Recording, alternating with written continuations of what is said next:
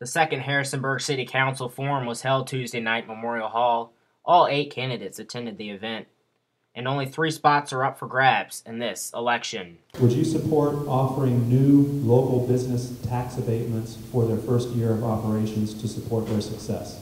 Yes, any way that we can attract um, businesses to open here um, and still remain here in 20 years. Uh, however, I think I want to also look at not only the business aspect of this, but the employee aspect of this. We've our city's been growing by about a thousand people per year for the last five years, and in order to sustain that growth, we have to continue to have more jobs. Some people are concerned about a lack of education and enforcement regarding bicycle use. Do you see this as the city's responsibility?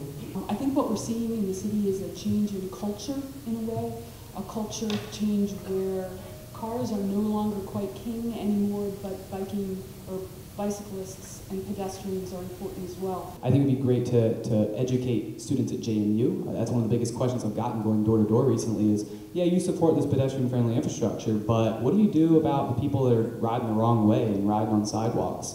I say part of the way that we can fix that is to properly put infrastructure in place so that the alternative is a better one and they don't have to choose the safer route, they can choose the right route. Now, whenever we do roads, bike and pedestrian infrastructure is part of it. Um, and one of the reasons, um, so was just a good thing, is that we see the difficulty in these places where it wasn't put and where the city doesn't own the property. We can't just go in and put the sidewalks in because we'd like to.